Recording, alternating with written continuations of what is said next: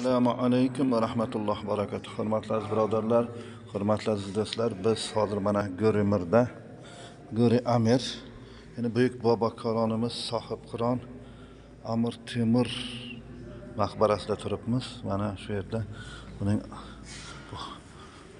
avlodlari ajdodlari bilan mana qarang birinchisi mana ana katta oq qabr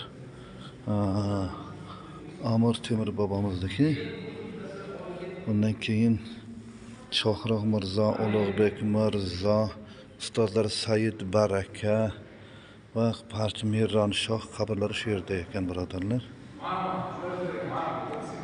Mana judayam mana qarang naqshlar bilan bezalgan qarang. Jilo berib turibdi mana? Ana gumbaz. Ana hammasi turibdi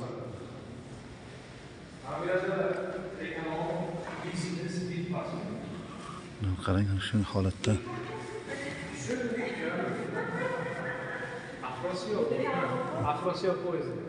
Bu Birodarlar, mana shu- Bu yerda joylashishda yetti to'qqizta qabrlarimiz bor.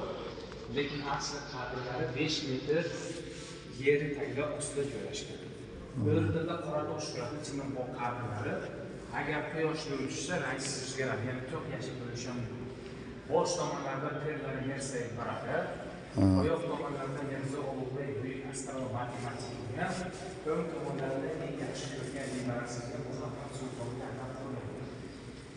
chap tomonda chimilbog'ni ikkita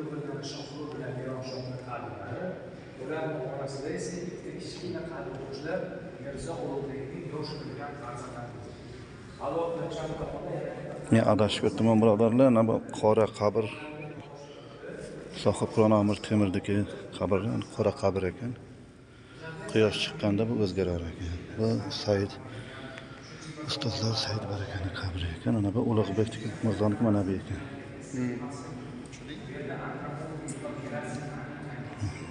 Qabr o'z aslida besh metr pastlikda joylashgan ekan.